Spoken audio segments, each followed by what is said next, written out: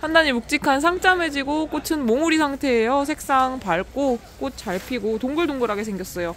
기장은 70cm 전후로 나오고요. 대 굵기도 단단하고 쓰시기 딱, 딱 좋아요. 잎사귀도 푸르고 싱싱하고 무성하고요.